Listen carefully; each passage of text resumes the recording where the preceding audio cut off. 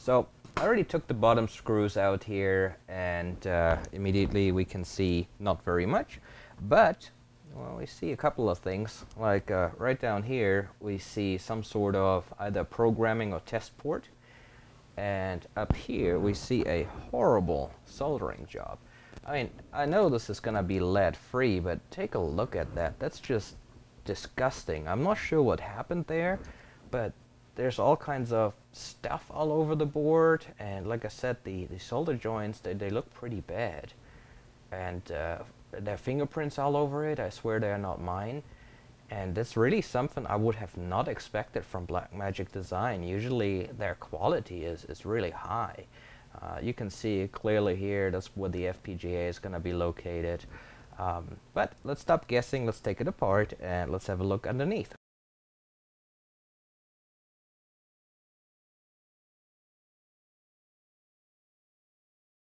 And here we go. So we see the open board right over here, and here you see the plastic case. This is the slot where the solid state drive goes in. This is obviously where the battery is hidden. I'm gonna have a closer look at this battery here in a little bit, because like I said, the, the battery life is, is really, really low. So we're gonna measure the current consumption, have a look at this battery more in particular. But let me strap on the uh, uh, close-up lens here, the magnifying lens real quick, and then let's have a look around on the board. Now I have my TimeStan macro lens hooked up to the camera and that'll allow us to zoom in much further into the board than we could otherwise. And uh, let's, let's just look at this general overview. Like I said, there's not much interesting stuff on here really.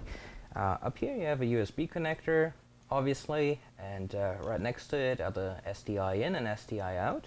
It looks like they had a provision right here for another port, and it, and it goes to, to something down here. So uh, that may be an option for something else, uh, or they decided to get rid of it. Uh, who knows what that was. We have our HDMI ins and outs, uh, we have our um, external power in, and as you can tell by the uh, big inductors here, all this is, is likely going to be your, your power regulation and your charging circuit and all that good stuff. Then uh, we have the the uh, slot here for the SSD drive for power and uh, uh, serial ATA. Like I expected, there's a, a, Spartan FPGA. Of course, it's memory, a couple of clock sources. You got a battery right here. And uh, what we thought was our, um, like I what I suspected to be a programming port, indeed seems to go to this little flash device here. And that looks down here like there was a provision for something else. I'm not sure. What do we have there? One, two, three, four, five. So it's more than USB, it appears. Uh, maybe USB 3.0. I don't know, but it looks like this was a intended to fit a USB jack. And uh, here's some sort of chip missing that would probably be the controller for that. It would be interesting to probe around here and see if that was some sort of debug for the uh, development and if we can get anything interesting out of it. Okay, so I repositioned the camera a little bit to get a better close-up view. Seems like our flash chip down here is an FL32 PIF. It's gonna be likely a 32 kilobyte uh, flash memory of some sort. Over there we get a programming port for that. Then uh, let's zoom out a little bit so that we can get a general overview again. So up there is our Spartan 6. It's, uh, that's a really nice FPGA. And I assume that's the thing that gets so hot in there. And we got a little bit of memory right next to it. And then down here, move this a little bit. It's kind of tough since it's still connected and I don't I don't want to disconnect the little flex cable there because it may be a pain in the rear to uh, reattach it. So bear with me on the camera work here. So here, oh, that's that's a Cypress chip it appears, and if I'm not mistaken, this is actually a USB controller. So it's kind of interesting that it's located right there instead of uh, back where the USB port is, but uh, that is a USB controller, trust me on that. And uh, let's see what else we have. There was another interesting chip right here.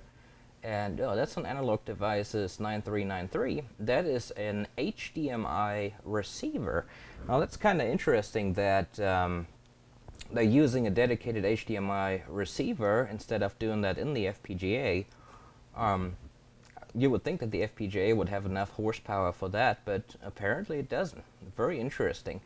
Uh, you know, maybe they just uh, ran out of cells in their logic cells, or the heating problem got even bigger without it, so they uh, put in a little HDMI receiver, and I think they're junk sheep too, so really doesn't make much of a difference. And uh, here's our SDI in and out. I do not know those chips, but they're gonna have something to do with the, with the clocking of the SDI. There's a, a Silicon Labs oscillator, probably something custom of some sort and uh, we got a fixed crystal one over there and one down there 24 megahertz okay very nice so this side looks pretty nice very decent and solder job, job looks nice the layout looks nice all looks very nice so uh, totally uh, contrary to the crappy job they had on the other side this down here is the battery connector by the way and uh, that's the next thing we're going to have a look at. I'm going to take this uh, case apart here. I'm going to take this uh, plastic part in here out so that we can have a uh, closer look at the battery and its capacity. Alright, let me get in there.